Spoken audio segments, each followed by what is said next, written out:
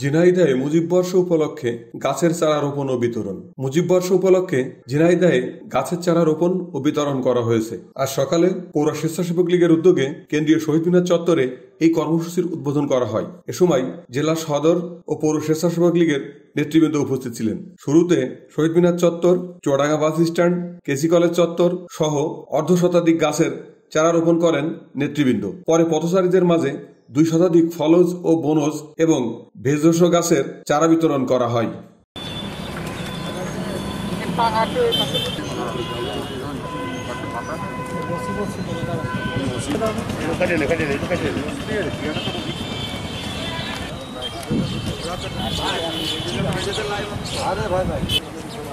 আপনি জানবে?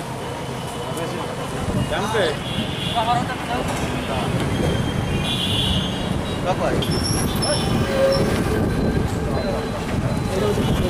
এই যে গেল ওই যে লোক আছে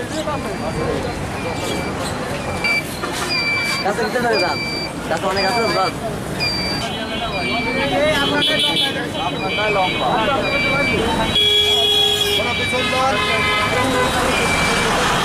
লাইট চালাতে পারিস लाइट में चला